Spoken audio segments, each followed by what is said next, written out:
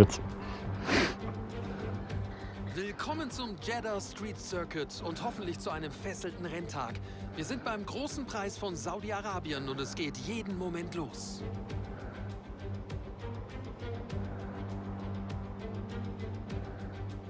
Werfen wir einen Blick auf die topografische Karte des Jeddah Street Circuit. Wie Sie sehen können, müssen die Fahrer hier ein paar anspruchsvolle Kurven meistern. Es wird sich also zeigen, wer aus dem Training dieses Wochenende das meiste machen konnte.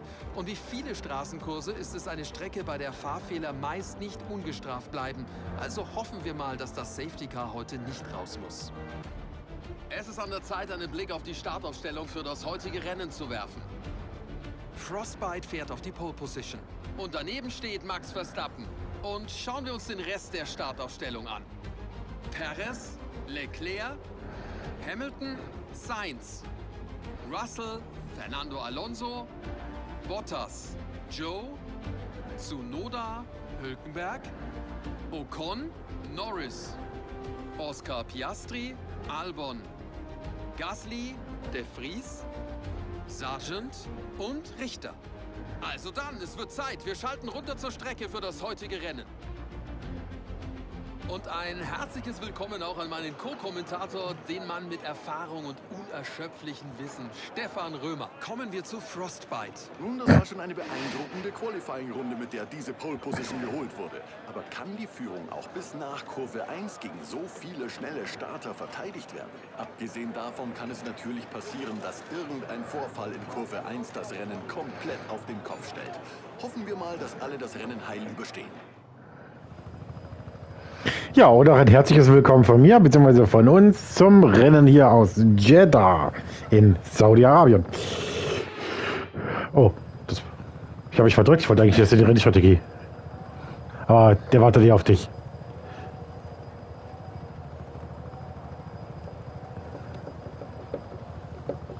Dauert jetzt einen kleinen Moment. Hilfe. Ich werfe Dinge durch die Gegend. Bist du da? Ich bin da. Okay.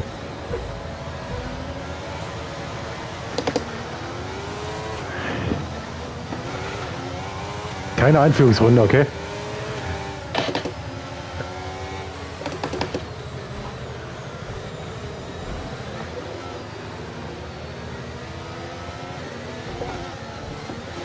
Oh Mann. Da hast du einen super Start gehabt, warst schon auf 14 vor und dann drückt dich wieder einer an die Wand. Wir haben kritische Unterbodenschäden. Das war's, mein Rennen ist durch.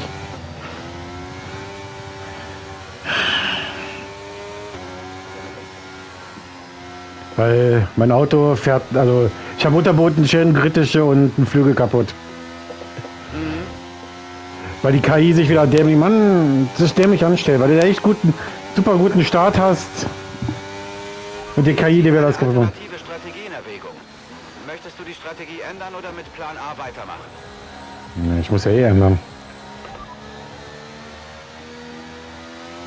Alles klar.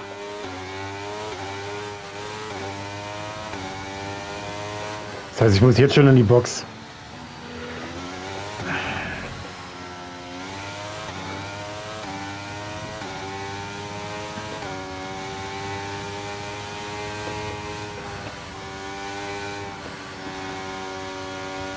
Ah, ich war so schön mal dran, ey. Ich war schon. Uah, Hilfe! Das war's. Oder auch nicht. Flügel ist komplett kaputt.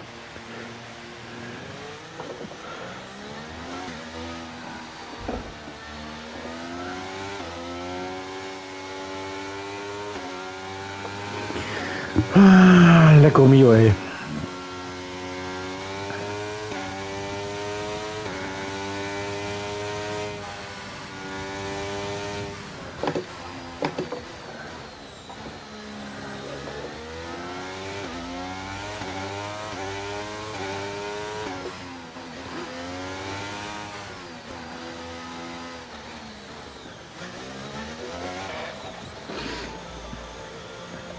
Aber das ist, weil halt die scheiß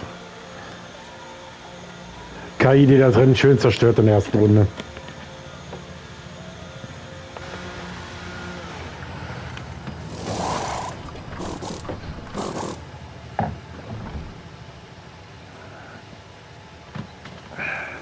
Los, gib Gas. Das ist perfekt gelaufen. Wir sind stolz auf dich und die Crew. Gib jetzt Gas. Die Reifen sollen schließlich ein bisschen warm werden. Fries ist auch in der Box gewesen. Der hat es auch wohl scheinbar abgekriegt. Die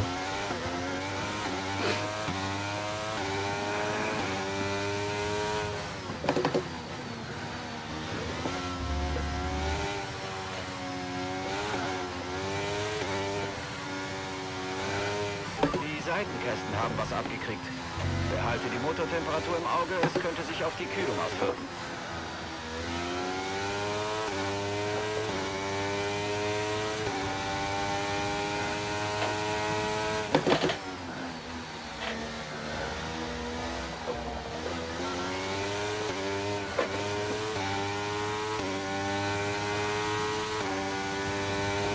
Sei vorsichtig, der Unterboden wurde sehr stark beschädigt.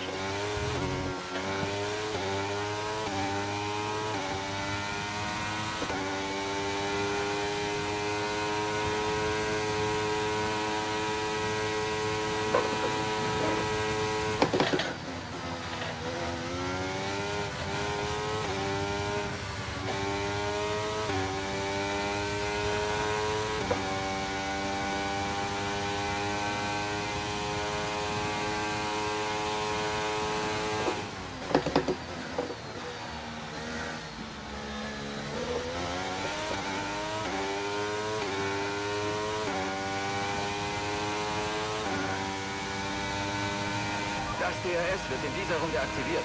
Du kannst es nutzen, wenn du höchstens eine Sekunde hinter dem Wagen vor dir und in der DRS-Zone bist.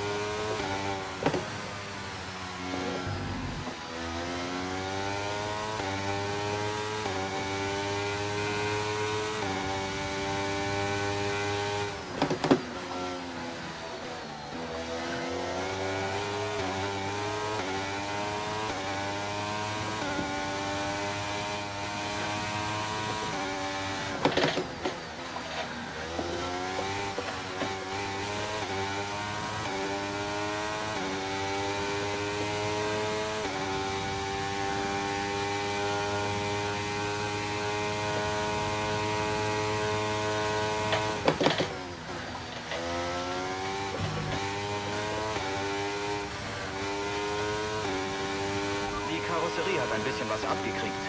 Pass auf, dass es nicht schlimmer wird.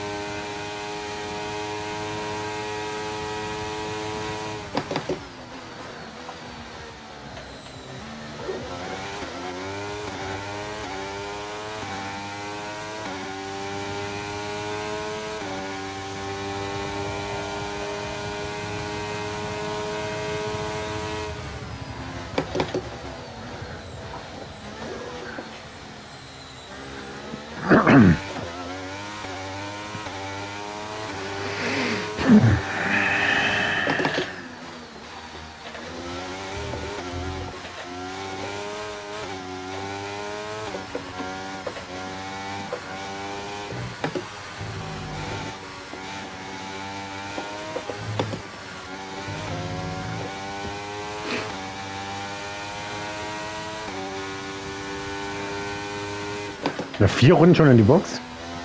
Yep. Hast du was abgekriegt, oder? was? Nein. Okay. Ja, mein Rennen ist gefühlt schon eh gegessen. Also ich habe Seitenkästenschaden, ich habe Unterbodenschaden, die Motorkühlung leidet. Also aber irgendwie versuchen durchzuhalten. Vielleicht kommt auch mal ein Safety Car oder so.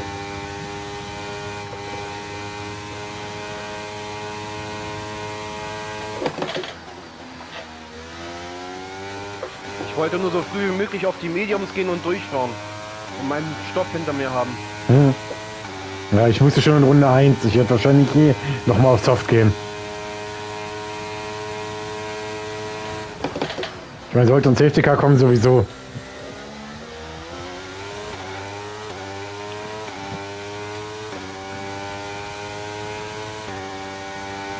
Oh, scheiße. Das klingelt.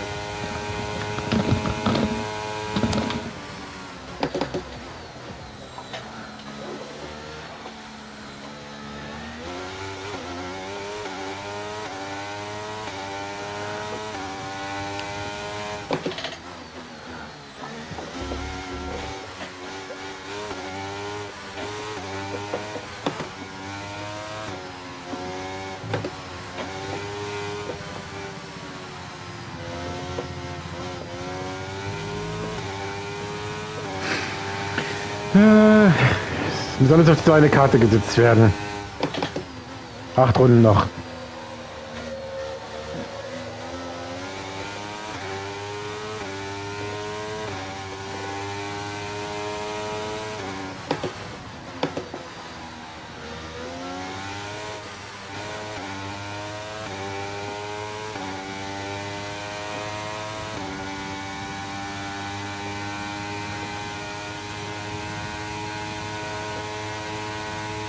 Der Abstand zum Auto vor dir beträgt 35,8 Sekunden.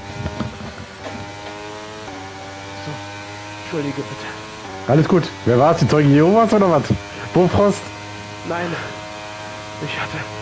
Ich hatte was bestellt. Ach so. Aber an der Ankunft stand 13 bis 17 Uhr. Ach so. Sonst kommen die immer erst kurz vor Schluss und heute kommen sie. Oh, gerade heute. So zum Kotzen. Alles gut, kann passieren. Bei mir haben auch schon Leute mitten in der Aufnahme angerufen. Das ist dann lustig.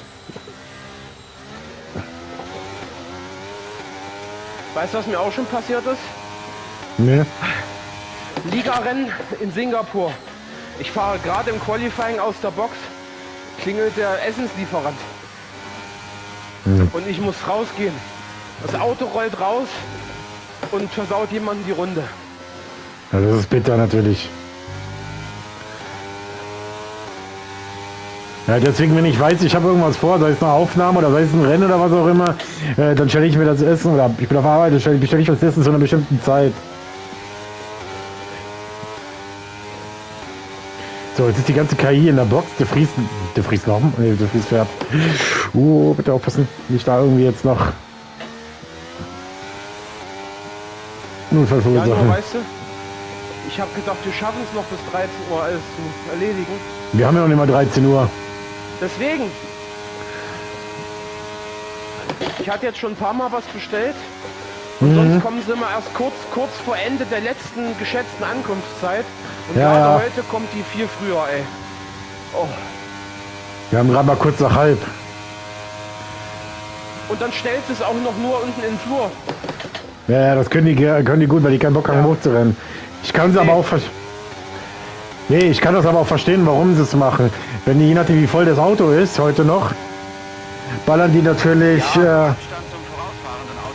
Das mag noch gehen, aber was ich jetzt auch schon ein paar Mal hatte, ist, dass es mir einfach mit purer Gewalt in Briefkastenschlitz gestopft haben.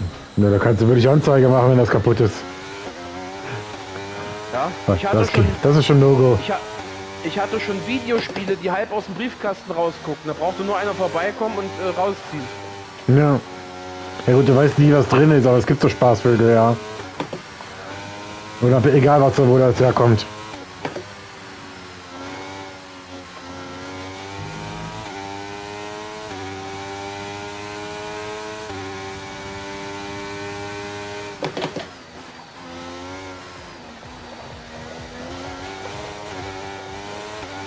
Die KI geht fast auf hart, alle.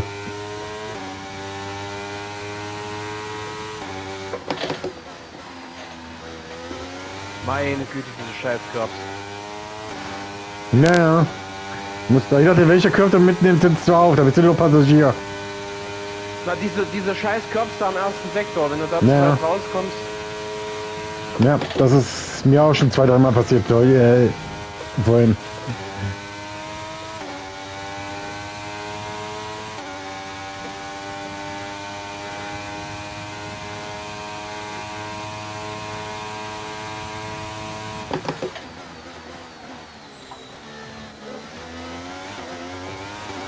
Muss doch meine Einstellung überprüfen. Nicht, dass ich tatsächlich die Traktion auf komplett habe. Da würde es mir nicht erklären, warum ich so viel Zeit immer verliere. Beim Mittel verschießt du nicht so viel Zeit. Ich verliere halt ohne mal Zeit gegen Gefries. Jetzt auf der Geraden. Warte. Verwarnung, ja. Oh Mann.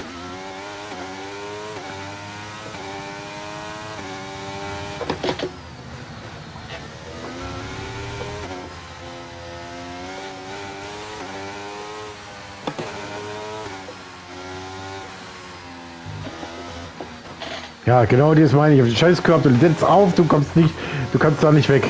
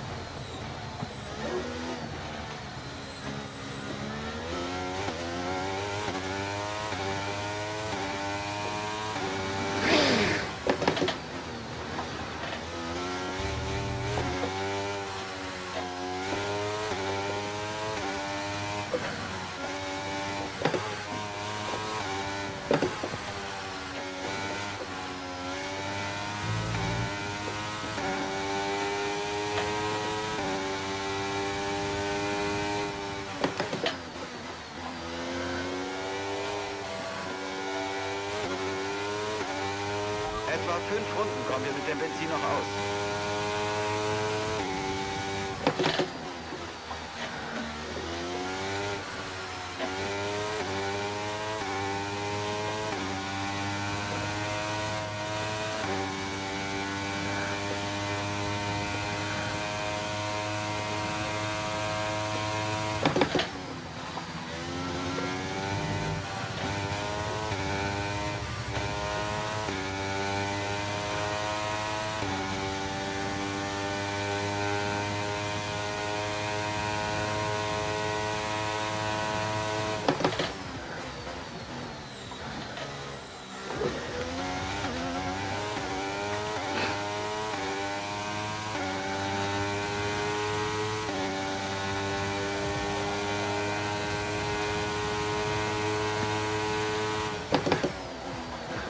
Ich werde gleich überrundet.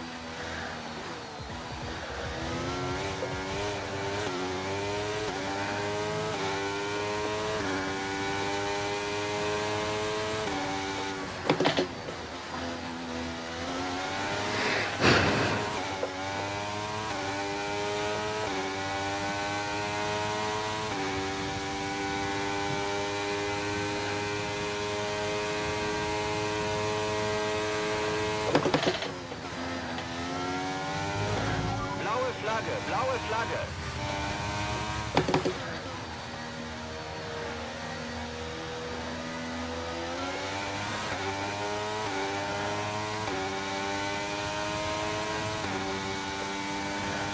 Es geht bei ich.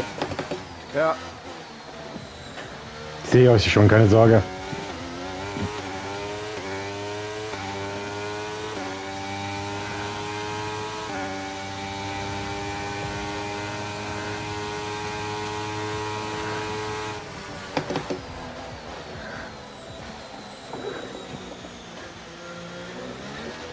Der Ist in einer anderen Runde. Lass ihn durch, wenn du kannst.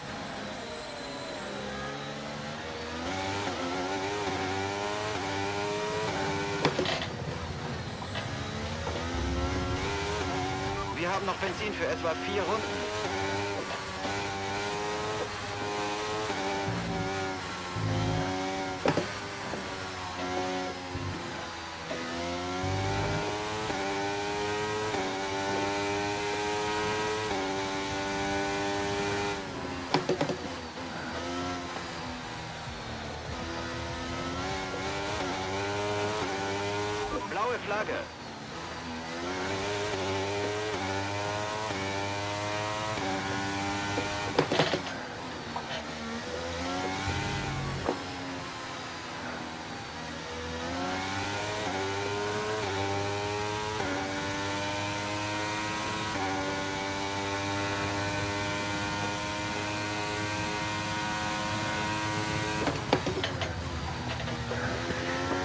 Naja.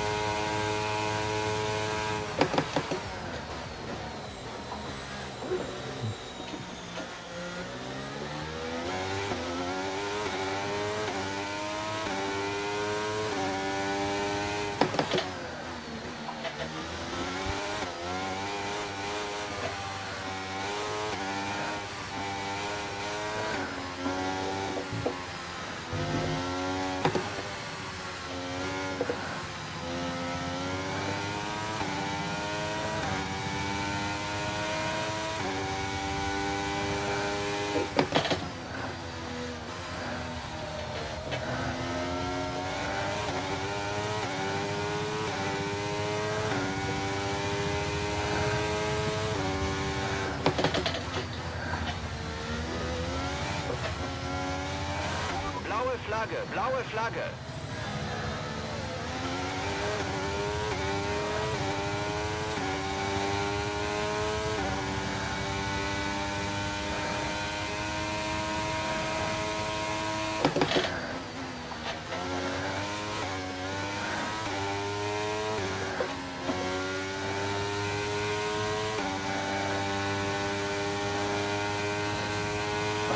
Blaue Flagge. Mach den Fahrer hinter dir Platz zu überholen.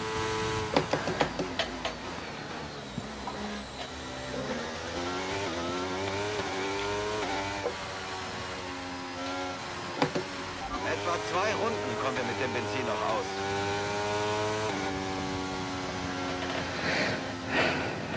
Direkt in der ersten Kurve Rennen zerstört von der Drecks-KI.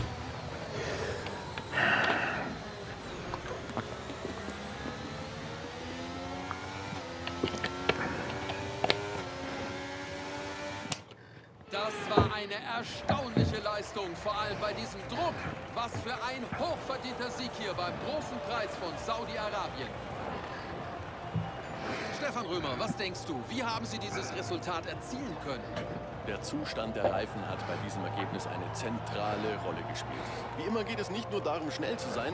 Man muss diese Geschwindigkeit auch während eines Stints und über die ganze Renndistanz halten können. Man muss also schnelle Rundenzeiten fahren, sachte steuern und die Reifen schonen. Diese Dinge haben das Rennen heute entschieden. Red Bull hat heute äußerst hart um die vordere Position gekämpft und es ist großartig, dass es sich ausgezahlt hat. Das Team tut so viel für den Sport, dass man sich einfach nur über den heutigen Sieg mitfreuen kann. Hat Verstappen nicht sogar das erste Rennen noch gewonnen? Ich glaube ja, ne? Nein, ich weiß es nicht mehr.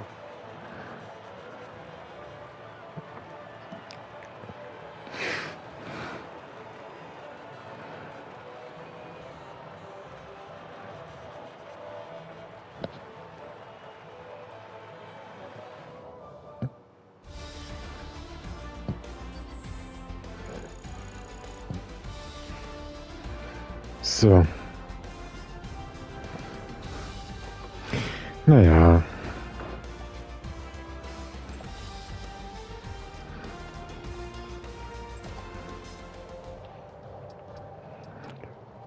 Nee. Alonso hat wohl das Rennen gewonnen, weil er hat jetzt, was hat er jetzt geholt? Jetzt gerade P4, der hat mich letzte Runde noch überholt. Ja, ja, dann hat der, ich das, dann hat der das erste Rennen gewonnen. Weil der 37 Punkte hat. Der hat mich ganz schön gejagt die letzten paar Runden. Ja, das habe ich bei Breaking Point gemerkt, dass man gegen ihn nicht so schwer, so einfach vorbeikommt.